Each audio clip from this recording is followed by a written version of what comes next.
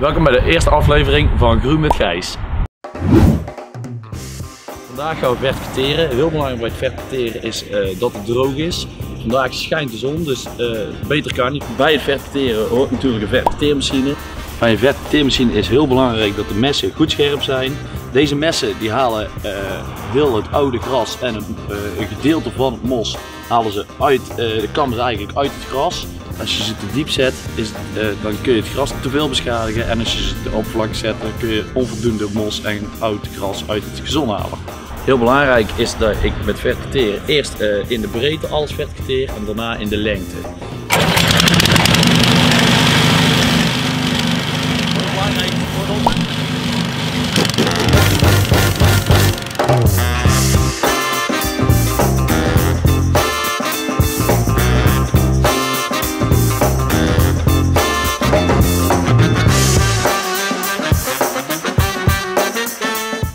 Verteren kun je één of twee keer per jaar doen.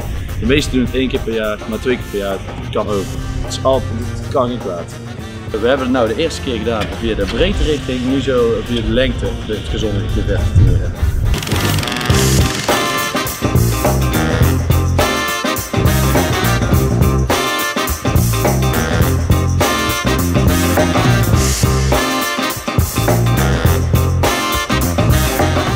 Heel belangrijk na het verticuteren is dat we het gezond doormesten.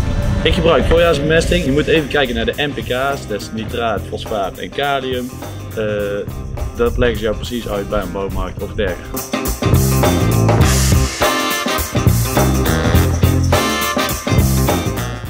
En als tweede gebruiken we kalk. Uh, kalk is voor de pH. De pH die uh, heel vaak is een gezonde zuur. Er zit heel vaak mos in en met kalk voorkom je mos.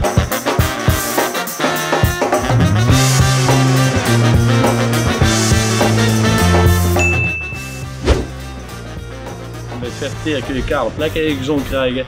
Dan is het heel uh, verstandig om even door te zijn met wat graszaad. Zet een sproeier erop en het groeit weer mooi aan.